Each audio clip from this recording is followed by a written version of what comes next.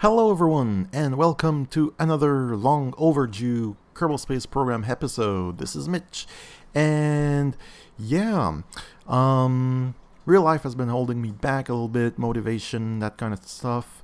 Um, I've moved as well. I had a summer course, I had a contract, I have work every weekend. So yeah, but better late than never. This video is coming now and I've even gone ahead and made a DIY pop filter for my microphone so there's probably going to be a little less popping in this video until at least I can buy a real one. So uh, insert a little picture here. It looks absolutely horrible.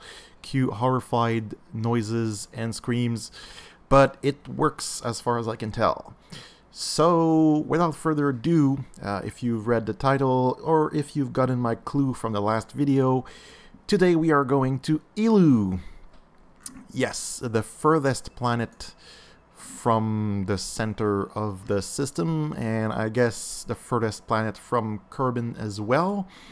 Um, we are going there because I feel it's actually easier than some of the other choices we have left.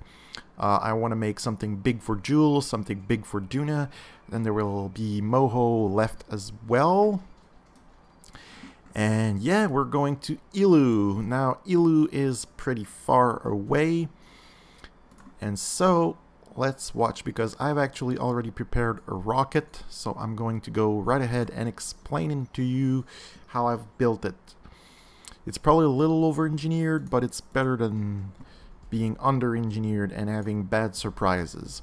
So first of all, going to Eeloo, what's it going to require? Well, I've actually already uh, time warped to a launch window. So we are going from Kerbin and we want to go to Eeloo. Plot it. It's going to require 4,000 meters per second of delta V just to get there, basically. Um, 2,600 of which uh, at launch. So I wanted a vehicle that had some oomph to it, meaning not nuclear engines, because nuclear engines are very efficient, but they very much lack the oomph required to make a very efficient maneuver of this magnitude, at least if you're impatient like me. So that's it. And then coming back from Eeloo, is a not so insignificant amount of fuel as well. Ideally, if you want to brake before re-entering the um, Kerbin atmosphere, it would take 3,400, well, almost 3,500 meters per second of delta V, which is quite a lot. Now, if we skip that part, it's only about, well, 1,300 uh, meters per second um, of delta V, but uh, that 2000 meters difference per second is pretty much the extra speed we'd be entering the atmosphere at. So that would be pretty significant, so I don't want to risk it too much. I'm probably not going to break perfectly into an orbit and then drop down, but we'll have enough braking fuel. So without further ado, let's watch the rocket. Let's take a good look at it. So the MEEV, uh, as you can see, it's by far the most expensive rocket I've built so far, at least a single rocket. The Duna mission uh, was more valuable in total uh, than this single one, but it's actually, I think it's somewhere close to 70% of the value of the entire Duna mission, which still has a space station around Duna. This doesn't. So it's the Manned Eeloo Exploration Vehicle, Mark 1. And it's got a lot of delta V. And it's got a lot of thrust to weight ratios as well. Um, never really dipping below uh, 0.5 Gs. So pretty significant. Now, most important thing is the payload. And the payload is actually this tiny lander. That's right, this huge rocket is used strictly for this tiny lander. It's a single seat. It does not have a probe core because to use a probe core, I would need to get signal out to Eeloo. And getting signal out to Eeloo uh, would be kind of difficult. Uh, one of the reasons for that is simply that there isn't much sun all the way out um, around Eeloo, which means that solar panels are actually pretty bad. So I've actually put two Gigantors on this thing, even though it doesn't consume much electricity, just to make sure we can use liberal amounts of electricity uh, without being scared uh, for the low charge speed. So there's that. And now the lander as well. It's a single seat.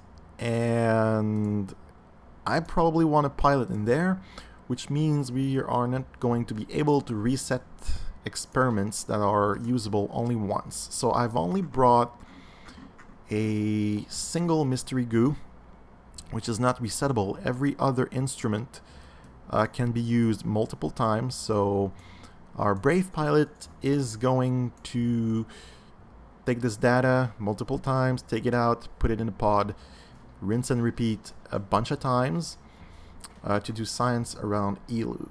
Uh, the lander, we don't see the actual Delta V here because I've actually disabled the fuel tanks because this thing is connected to a transfer stage via a docking port and I don't want any of the fuel to flow into that stage before we have landed. So I've disabled that, but the total amount of delta V, this adds an extra almost 2000 delta V to this vehicle, which brings it to almost 14,000, 13, 14,000 delta V total in meters per second, which is huge, but Eeloo is really far, so we need that fuel and we have here uh, RCS thruster blocks because this is the lander. This is a transfer stage. We are actually going to do this Apollo style and undock the lander, land on Eeloo, launch back, and dock with the transfer stage again to return to Kerbin. So this is the core of the vehicle. So we have a barometer, thermometer, mystery goo, of course the command pod, which in itself can get, um, sorry, crew reports. We have a gravioli detector and a seismic accelerator. So all good stuff. Um, we're not necessarily going there entirely for the science. We are going there uh, not even for a contract. I have actually absolutely no contracts selected at the moment because there just weren't any for Eeloo. So we're gonna pay for this mission out of our own pocket. Uh, we're gonna be getting world first milestones. That's at least that. But we're basically doing this for bragging rights, I suppose, and putting a flag on the surface of Eeloo and crossing it out as done. So if we look again here, Wait, this is Eeloo to Kerbin. Kerbin to Eeloo. Um, the pilot is gonna be there a while, almost uh, two years and a half. So we've actually packed, um, I guess, uh, a lot of uh, numerized books and uh, shows to catch up on for the poor pilot. Uh, I think there's only Jebediah who's crazy enough to go for such a lonely trip. But, you know, for glory, right? He's going to be there. It's going to be the Kerbinaut to go the furthest away from Kerbin and set foot on Eeloo. He's going to be the only one as well. He'll probably be the guy who spent the most time in space as well, just because of the travel time um, included. Now, for the rest of the rocket, well, we have these Gigantors, as I've mentioned before. Hopefully we don't decouple them too early. We should be fine, however, if we look at the staging here, we have these two bottom stages, which have huge liquid fuel boosters and a huge center stage here, which should take us into orbit. And then we have this, I'm going to zoom out further, this middle stage, which is, should be anyway, enough to reach um, Eeloo and park around it. Th- This entire stage should do it. It's a little close, so maybe it won't, but hopefully it will. Um, as we said, well, we need an insert insertion burn. So if we look, it was, yeah, 4,000 meters per second of delta V. Oops.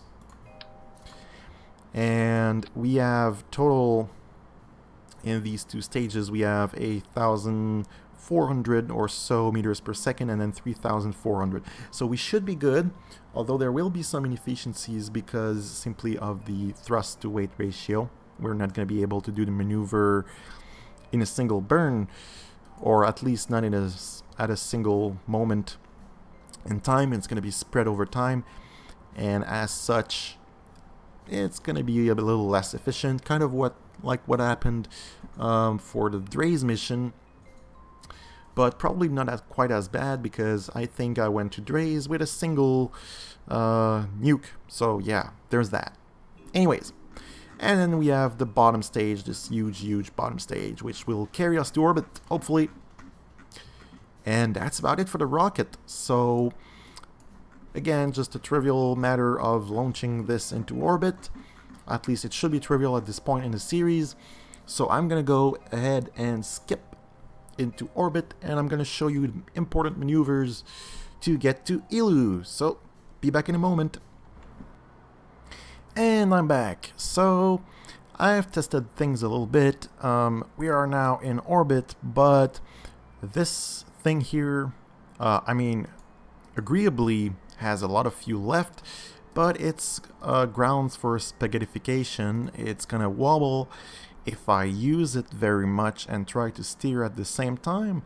So we're gonna be extra careful with that extra fuel, and we're also gonna physics warp to orient the rocket into position because I've already made a maneuver node. Uh, I've made it off camera because it's very finicky, it's difficult to, um, it's basically threading a needle really. Uh, Eeloo is not very big and as such getting an encounter is not the easiest thing to do. Uh, so I'm going to move this into position and show you the kind of situation we're looking at. Um, and I'm going to be a little cheaty and I'm going to use the uh, regular time warp to stop the rocket rotation. It's something you can do. I don't enjoy doing it very much, but it's certainly better than messing around with a very unwieldy rocket for a long time. So here we go, almost pointed in the right direction. And time warp. And that's going to stop the rotation of the rocket. Good. Uh, we might as well deploy the solar panels. There we go. And the maneuver node. So this is what it looks like. We need to go basically north a fair bit and of course prograde a fair bit as well. And this basically gets us an encounter straight away with Eeloo, although we will be making a maneuver node to adjust our encounter uh, before we get there to get a better encounter.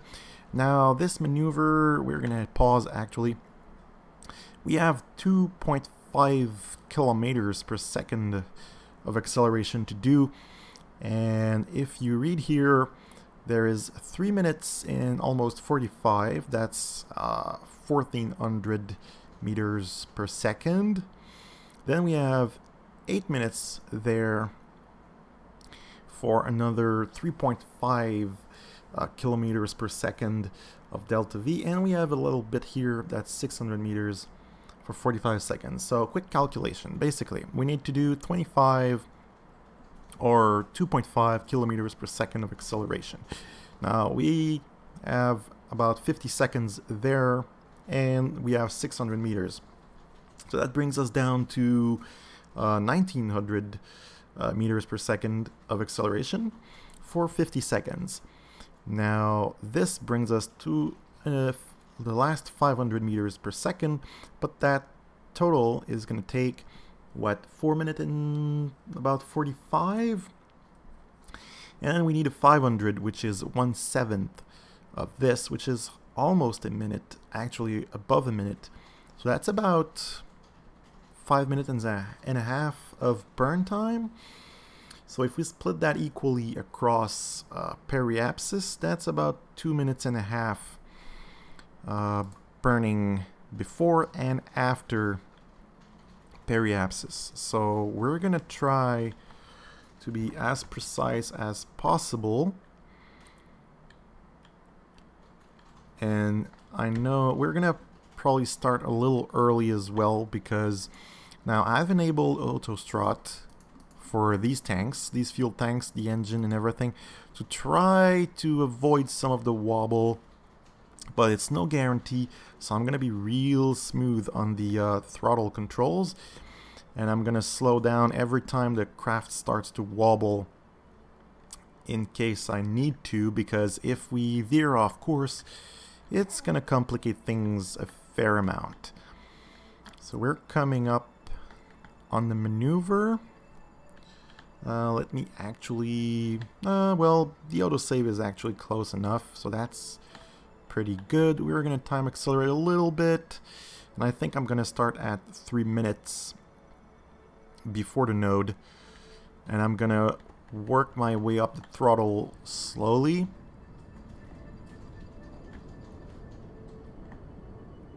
Good. Still good, and I'm gonna watch that nav ball for any wobble. Although it looks pretty stable with autostrut, which is reassuring. Oh, don't gimbal. Actually, I might want to turn the gimbaling off, maybe? I don't know. Or turn on fine controls, let's say to try to, to hold the attitude of the vehicle in the direction of the maneuver node as much as possible. There we go. With fine control and auto strut we seem to be pretty safe. And there we go, full throttle. And we're almost done with that cursed stage. Well, it's not cursed, I mean, it's extra fuel from the launch, probably from the... Oh, wow, okay. Alright, that was funny. It didn't center us on the right vehicle for some reason. Probably because of autostrut as well. Anyways.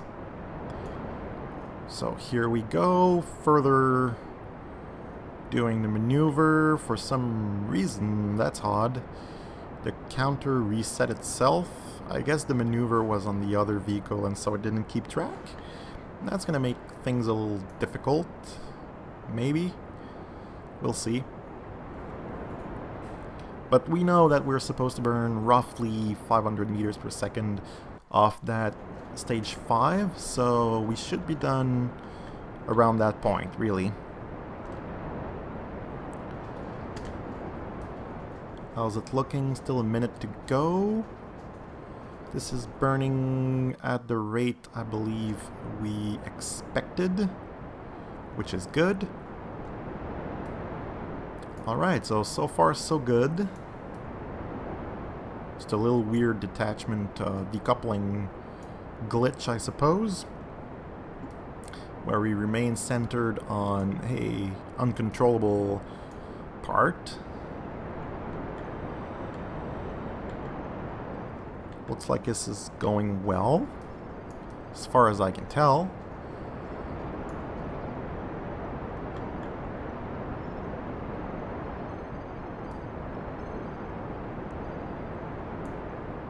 Looks that way for sure.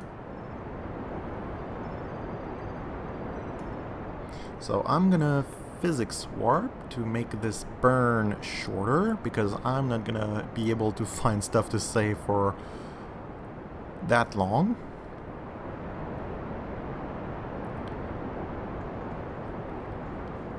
Alright, so this looks pretty good.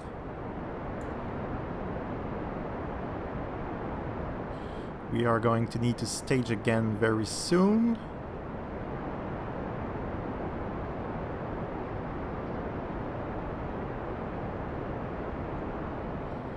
It does look like it's gonna be in the right ballpark. So we are gonna ditch those and start burning again.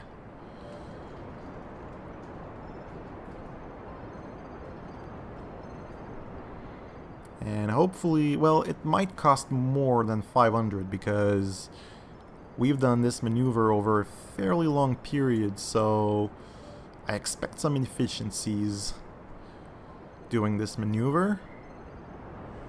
So we're gonna fix it right about there. We're gonna remove this maneuver and we're gonna make a new one and see what we're missing to get to Eeloo. So bunch prograde, I suppose that's a bit much, although it's the right ballpark. We know we're supposed to be going up as well, and by up I mean north re uh, relative to Kerbin. Oh, that's a bit much. However, that is to be expected when you have long burns. 700 meters, that's still fine. Um, the real hard part here is actually getting the encounter. And I do want to get the encounter because I want to see the line around um, Eeloo so I can then adjust uh, with very high precision later on. So the important thing here is the separation. So whenever we do something to the maneuver, we want to make sure that it makes the separation go down. So see that's going up. That went that made it go down. That made it go down fairly significantly. Now we lost it a little bit. That's much further. Oops. And it's very sensitive at these distances. So we have to be careful. Okay. And we have to be somewhat... Oh, I'm still in physics warp. Okay, that... Alright, so stopping the physics warp should make things a little easier. Now you can also use your mouse scroll wheel on the uh, icons and it's going to make smaller changes. That looks kind of good. Yeah, it's going down. Going down a lot, actually. Yeah, this looks like it's the way to go. Oops, that was a bit too much. Okay, so knowing this helps, let's actually go back, create a new maneuver so that we have a bit more time to adjust try to make it as efficient as possible. It's not too bad since we've over-engineered this and we even had 600 meters extra. But we want to make sure to save as much as possible. So maybe like this. Let's see. What kind of separation are we looking at? Uh, a lot more than we really want. Also, apparently, scrolling down is better than scrolling up. It's finer controls. So see, we're already getting close to an encounter with half the fuel we were prepared to use earlier. Alright, so a million 400 kilometers separation. Now we gotta make this go down. This helps. This helps tremendously. Okay, so we are getting really close. That was too much.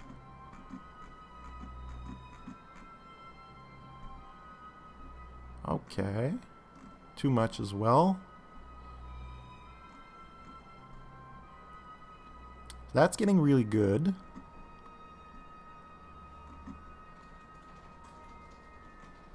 No, it's really finicky. I wasn't kidding about that.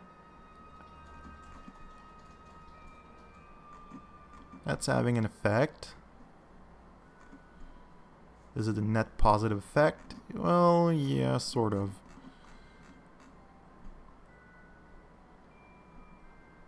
Okay, so we're pretty close like that. That's even closer. Closer. And there we go. We have a new encounter. Alright, so I want to point the vehicle in the right direction before the maneuver node. Now this one is a lot smaller. It's a lot shorter burn compared to the previous one, so it should be fairly accurate. So let's go ahead and time warp ahead a bit.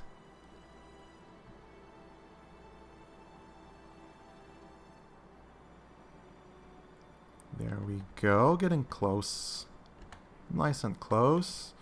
Physics warping the vehicle in the right position because it turns really slow. That looks nice. Time warp a little bit more and now we're gonna have to do about 45 seconds before and after the node. Well, more like 40. So 50 seconds. Let's try this. And let's physics warp because we don't want to be watching this for very long. It's not the most entertaining thing. Here we go, gently. Can tone down the physics warp.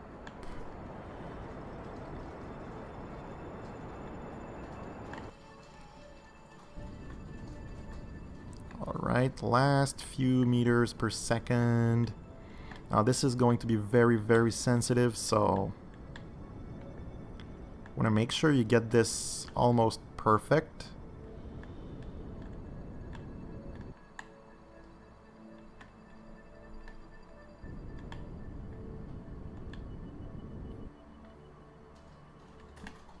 Alright, we're 0.1 of a meter per second, and we are on a trajectory to encounter Eeloo. So Jeb is now gonna pull out his, uh, you know, shows and books and whatever because he's got how long to go? Let's see actually. Before he sees Eeloo, two years and 229 days until the closest approach. So Jebediah is gonna have some fun for a while and then he's gonna be there for glory and so are we so I'm gonna record maybe a little montage of the trip and then we'll see each other again. So see you in another moment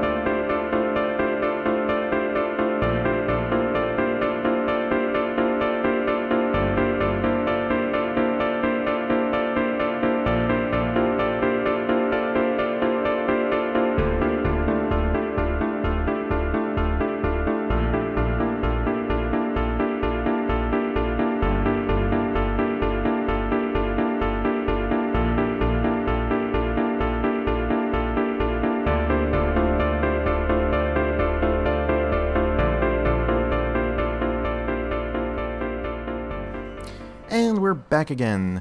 So this is actually a considerable amount of time after we have reached Eeloo, simply because I've been tweaking the orbit. Um, I've made a really nice and circular orbit uh, around Eeloo, and I've actually tried to lower the inclination. We had a something like 12 degrees inclination at first, now it's down just under 2 degrees. So that should help. I've also gone ahead and collected a fair amount of science um, because it's kind of redundant to uh, watch over and over. Uh, just going out of the vehicle, grabbing the Gravioli report and whatever, and bring it back in the capsule. So I've done a lot of that. Now we are getting ready for a landing. Um, we might go for more than one landings.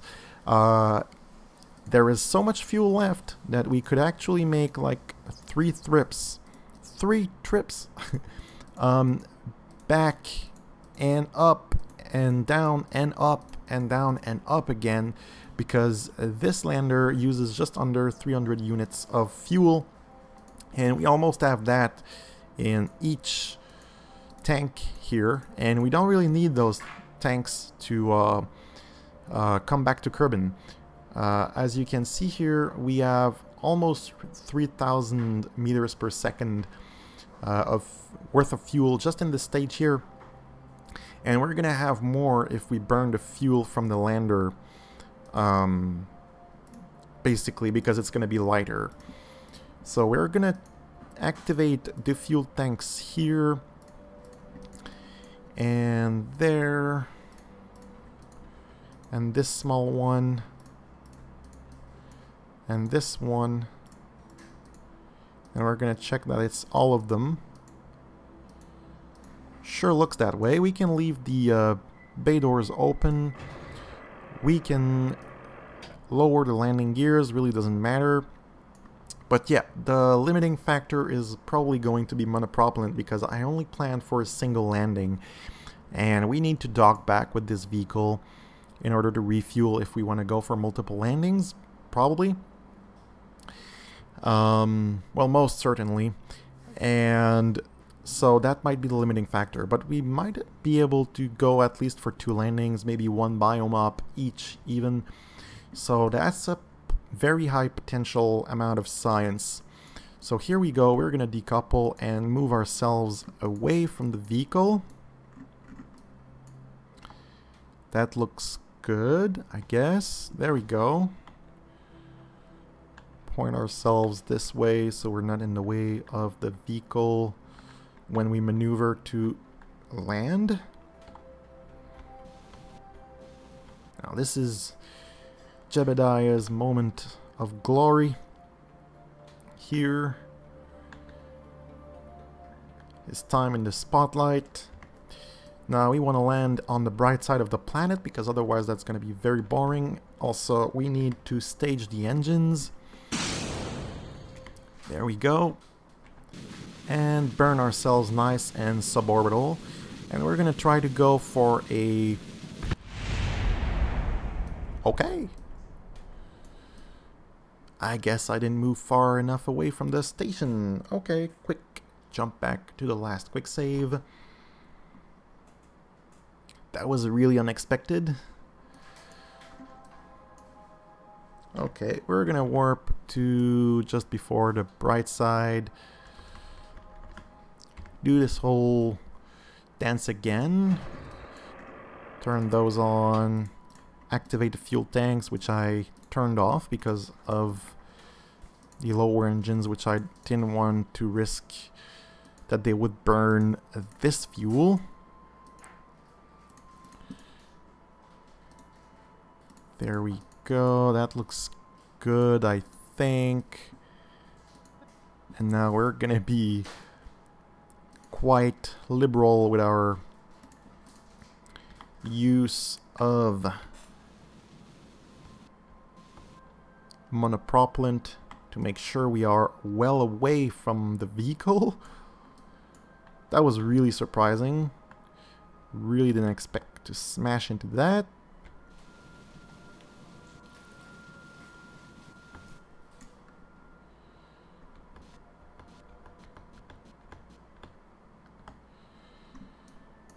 Alright, now I think we're moving fast enough and far enough away from that to not smash into it.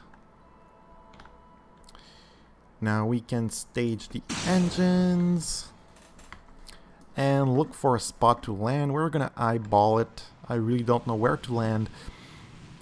Although after messing around a little bit, it seems that the brown patches are fairly uh, uneven, whilst the midlands, the white part is pretty nice. So I'll try to get to the edge of something, one of those brown patches or a canyon or something.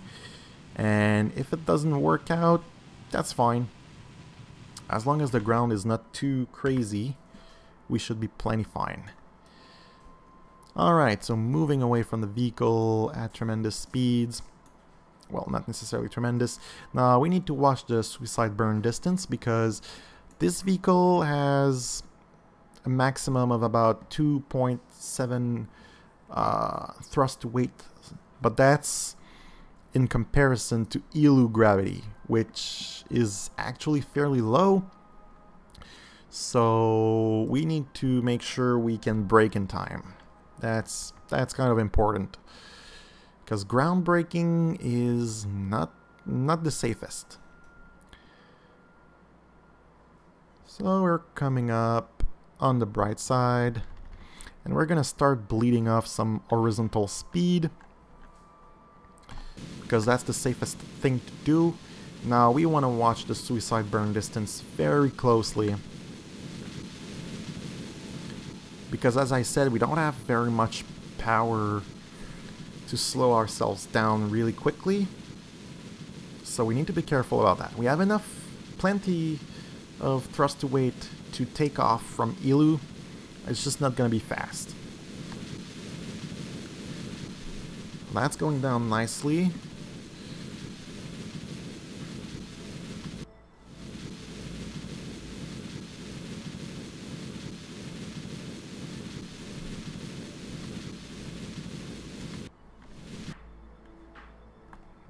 Gonna pay more attention to that. I would prefer to land close to the canyon, so if I can stop burning sideways that would be better, but we're gonna prioritize not smashing into the ground.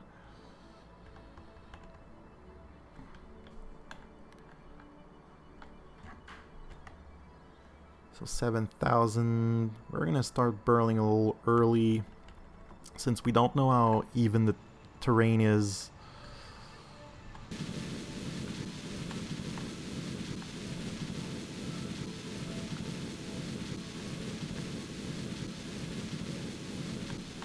uh, I'm a little worried because for some reason the suicide burn distance is still lowering.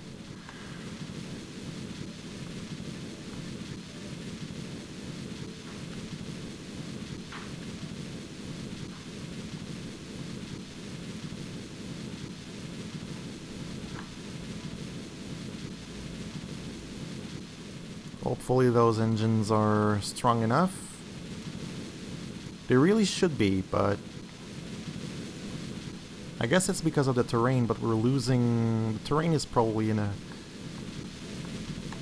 in the slope, and as such, if it's rising, it looks like our braking speed is not going to be enough. We're still pretty high, though. We might manage. But it's going to be closer than I'd like.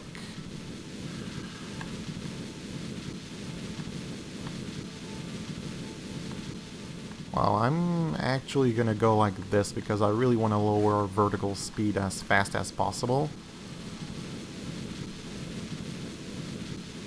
It's not ideal because this technically doesn't really help with um, the horizontal speed, but uh, there we go. Suicide burn distance is increasing. So yeah, it, it was because of a slope.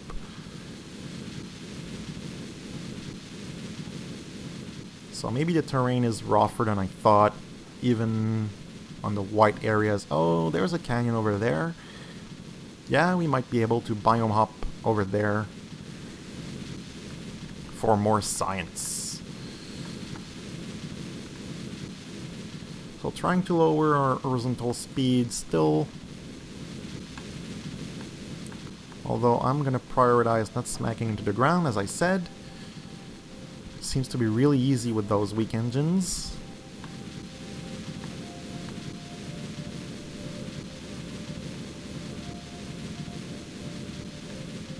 Burning more fuel than I thought, but we were still good. I haven't burned half of it, and we're getting really close. The ground, which is good. It's a good sign.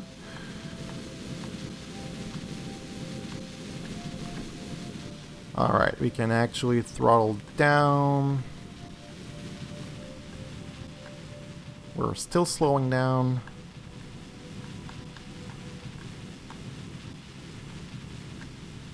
Almost perfectly perpendicular to the ground.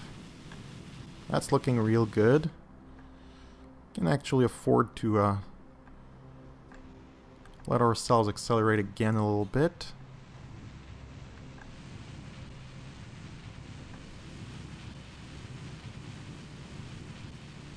That's a bit wasteful in terms of fuel, but as I said, safety first.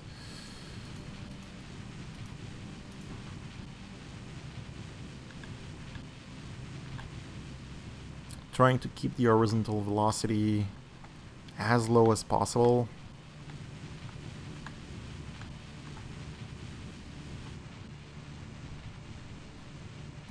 Last 300 meters. Really want to touch down with a speed lower than that though. I'm going to try to go, since we're using the micro struts, I think I really want to go like as smooth as possible when I touch down.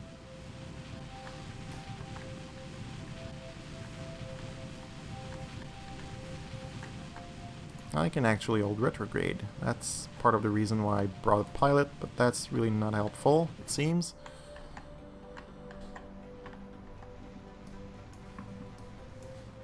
I'm being a little impatient.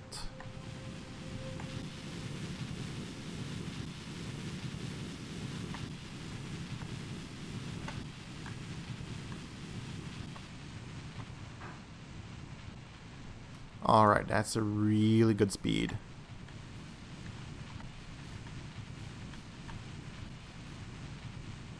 And gently touching down.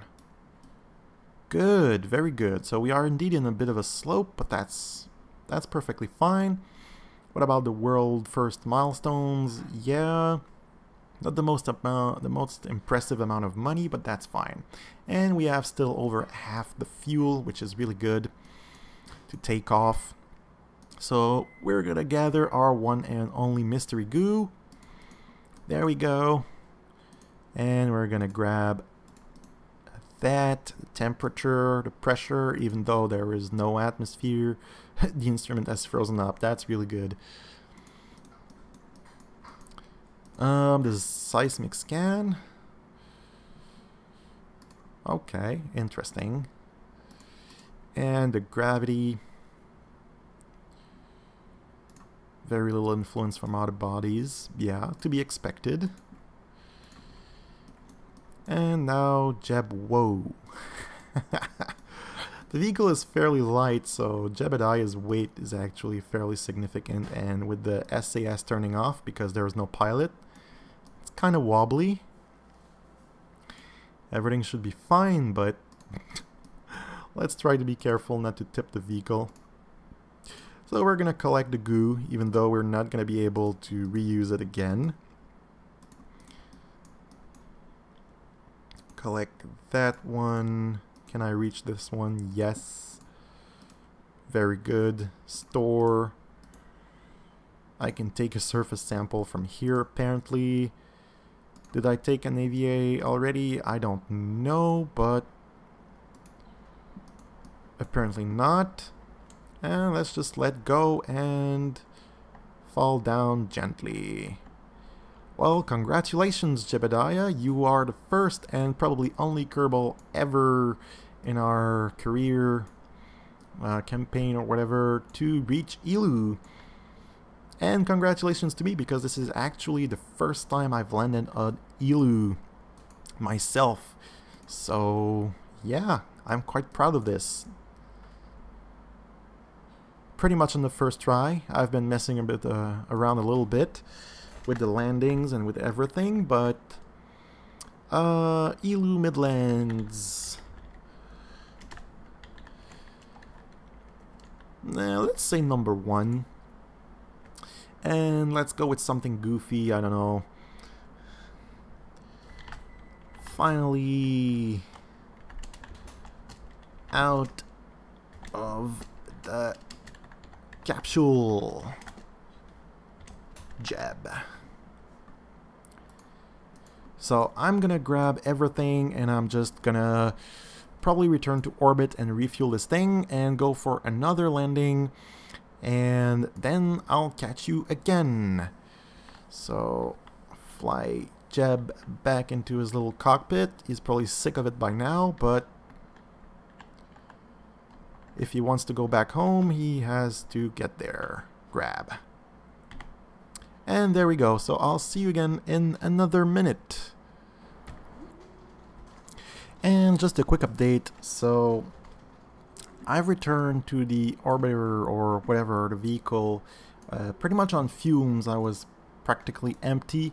I've refueled the whole thing and I've taken it down um, from 50 kilometers orbit to a 40 kilometer orbit just to make it a little bit easier on myself. The monopropellant is really... It barely used any, basically. So I think I'm gonna go for another landing here. And after that, we're gonna shoot back for Kerbin. So I'm gonna skip you the uh, details of this landing. Again, I might show you a quick clip on the ground where I managed to land. And that's to be it. After that, we're to return to Kerbin. So, see you! Alright, finally back for our return trip to Kerbin. So I decided against showing you the landing for multiple reasons, one of them being that I had a close encounter with the Kraken, who just wanted my rocket down on the ground for some reason, even though it landed on almost perfectly flat ground it just wanted to slide and fall down.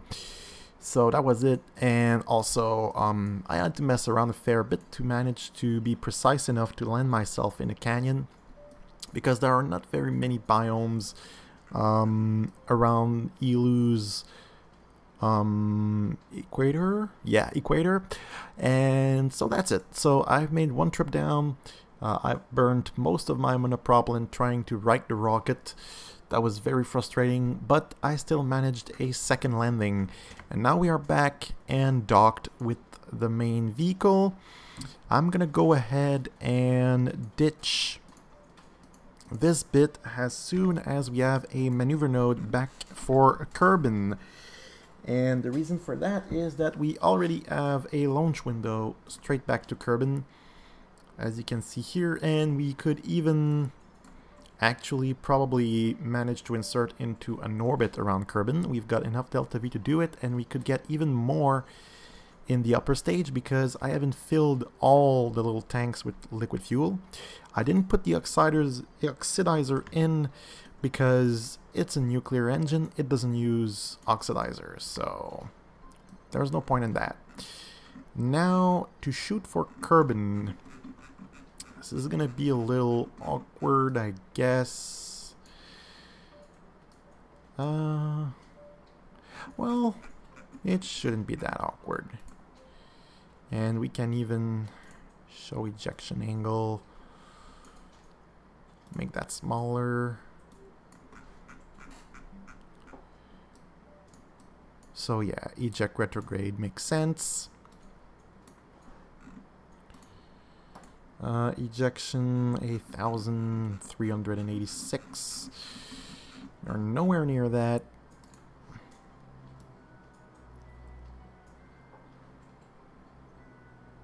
Or so far away that Kerbin is not even rendering. It's making things a little hard. Okay, looks like we're gonna have to mess with the Well, yeah, we're going to have to mess with normal and anti-normal. It would seem. Yeah, we will have to. So let's focus on Kerbin because otherwise it's just not gonna show, which would be annoying. Um, let's see here. Like this is making things worse. Okay. This looks better. I think that means we want... No. Oh. I saw it. It gave it to me. Um. Is that an encounter with... Oh, it is an encounter with Kerbin, but... Oh yeah, it's showing it around Kerbin because we're focused on it.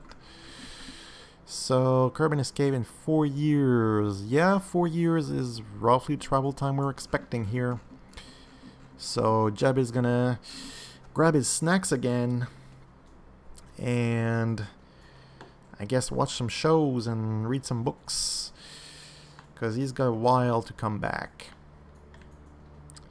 In fact, well, we've got a fair bit of science which is gonna net us a fair bit of money and of course uh, more science points, but we might actually go for another mission while he's coming back. That's definitely possible. Anyways, we're gonna execute the maneuver to bring him back. It's in six minutes. We're already pointed in the right direction? Really? That's awfully convenient.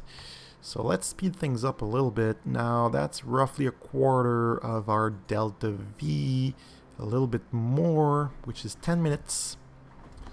Oh, hold on here. That could possibly not be accurate because we need to stage. Oh, how that scares me when... Okay, good. Oh, well that ripped the panels straight apart. That's not a problem though, because we were to ditch them anyway. So, yeah, we're to trust that number. So that means that's roughly a quarter of that, a little over, so that's three minutes. So we'll go at maybe around two just to account for inaccuracies and uh, inefficiencies as well. So there we go, maybe a little under two minutes. Yeah, there we go. And we're gonna physics warp.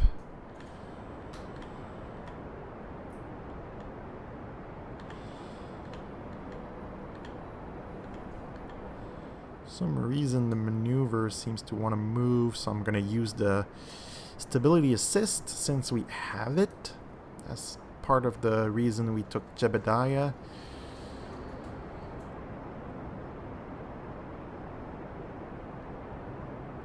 So it looks like I was quite accurate. It was going to take four minutes. So we're a little short, but it'll be fine. Should be fine. so, waving Eeloo goodbye. We're not about to see it again, since sending probes or a bigger mission might require signal, and that would be potentially quite annoying. Although we did unlock the newest, um, the latest, and the best um, antennae, I believe, so it wouldn't be quite as bad, but it's still pretty far to get signal to. And let's try to make this precise again. Boom. There we go. Let's make sure things line up. They didn't quite line up perfectly. Uh, we'll reset our view here. Set up a new maneuver node and just try to correct things a little bit. Eight minutes, that's a little close. Alright. Let's focus back on Kerbin and go for another encounter well, yes, set as target, of course, but also focus view. So we're close-ish, but not quite as close as we'd like. Uh, seems that's not working out quite as well. Let's see. Nope. Okay, so we might be closer than I thought.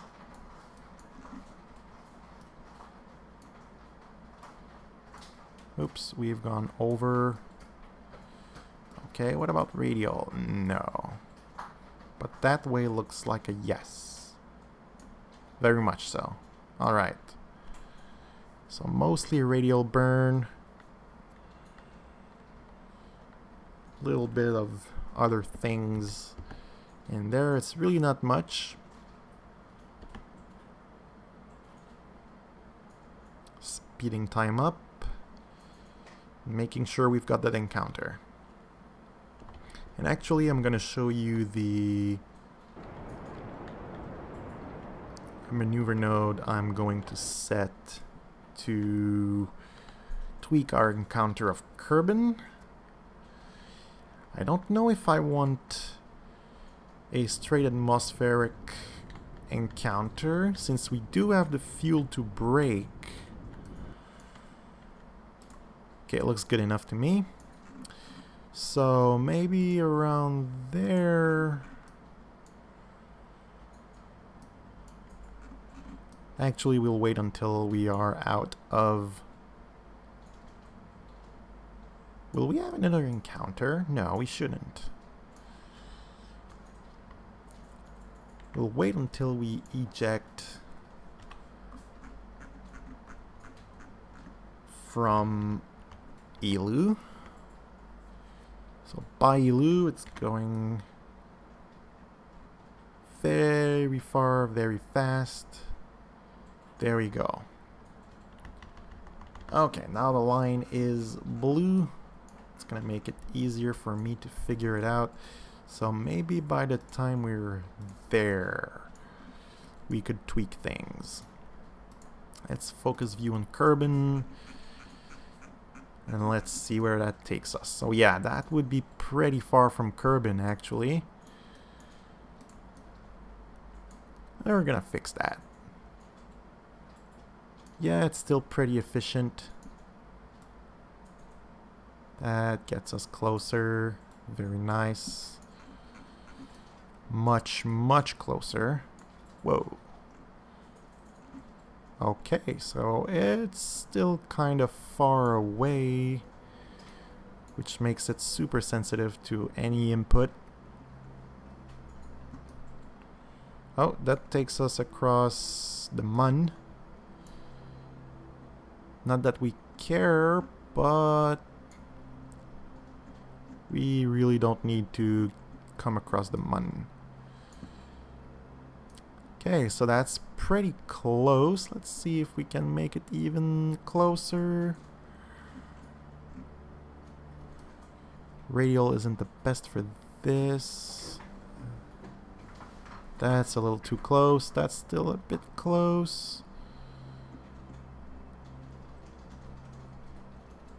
Well, at this point, I'm playing with fractions of fractions. So that might be a bit much.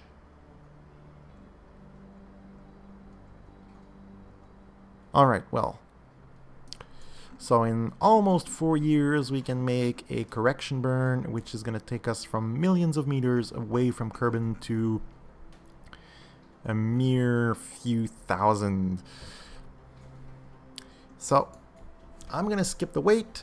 Um, I don't think I'm going to run a mission in between, actually. There's no point. Um, the other planets are much easier to access, with Jool being the most complicated in terms of um, of launch windows, since it's also pretty far. But Eeloo is actually the the hardest to time because it's just so far, so far away. Although, yeah, with Kerbin spinning relatively faster relative to it, it may not be that bad, but yeah. Anyways, so I'll see you when Jeb is ready to land. And I'm back. So is Jeb actually. So is Jeb. Jebediah is back. Almost. Uh, we can see Kerbin really big. We can see that we've almost got no fuel left. But we're not going at an absolutely insane speed at which I was coming in at first. Um, so we did burn about 2.5, 2.6 uh, kilometers per second worth of fuel. And that's what it nets us with. So we are in an orbit inside the orbit of the Mun. And at apoapsis, we are going to burn retrograde to completely deorbit ourselves and hopefully return Jebediah all safe and sound, if not a little bit more insane, back to Kerbin's surface along with a ton, an absolute ton of science. So I'm going to go ahead and speed this up. Zoom. Here it comes. Almost there. Good enough. So we are going to burn ourselves around 30 kilometers. I guess. And then we're going to ditch just about everything. I might burn just a tiny bit more with the monopropellant just to uh, make sure we're safe from the uh, nuclear stage. So let's go under 40 for the nukes. And then we will actually decouple this. Undock. And we're going to just push it a little further. And just that slight push brings us down pretty far into the atmosphere. So good enough, I think. I'm gonna point prograde because that'll put us closer to retrograde once we're down at periapsis. We're gonna quick save just in case. And we're gonna time warp again for the final time, or pretty much the final time in the last time anyway, uh, for this mission. And almost entering the atmosphere here. We are going to decouple this, I think. Yeah and face ourselves retrograde with the heat shield. So Jebediah is looking ecstatic. I would look ecstatic as well. He's been gone. Wow, mission estimated time. 6 years, 340 days. That's... That's a long walk in the park. That's... Yeah. I, I would be insane. Alone in that tiny capsule I don't think anyone is uh, in good mental health at that point. Or any type of health, actually. Especially in space with our current technology. Ugh. Months have uh, negative impacts on the body. Six years?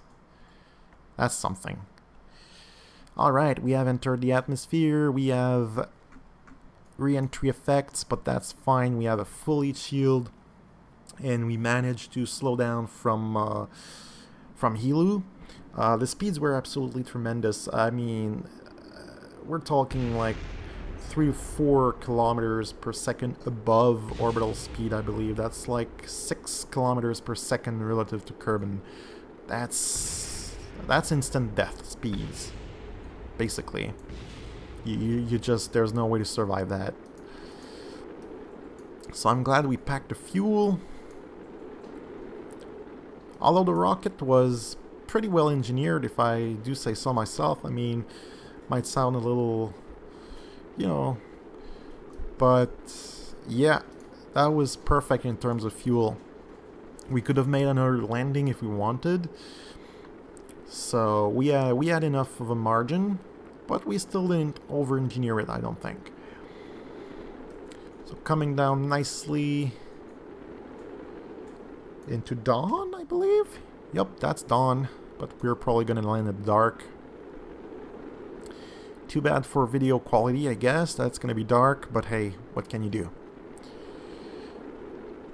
So that's it. Very successful mission. We have 33 science reports, which are going to be worth an absolute humongous amount of science and money because of our uh, policies, strategies. So that's going to be good. Can't wait to see what that uh, what that yields. Coming down a little slow to my taste, so I'm to speed things up a little bit. Very nice. Gonna wait a bit for the drogue chute.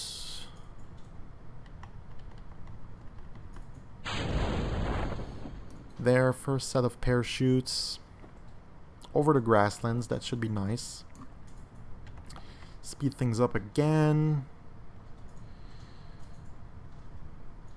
And coming down nicely, so I'm not gonna mess around too long. This video has been uh, well over an hour now. So, yeah, we're gonna call it very soon, but we're just gonna watch the end result here. Oh my, that's... I absolutely overdid it with the parachutes, but that's fine. We could practically land on the pair on the drogue chutes alone.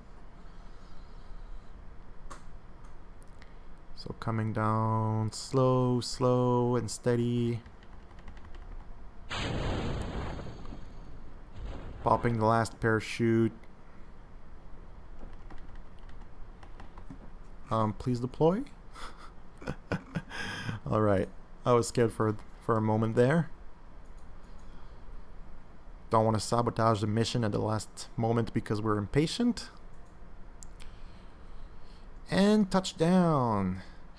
Recover the vessel. Save Jebediah from himself.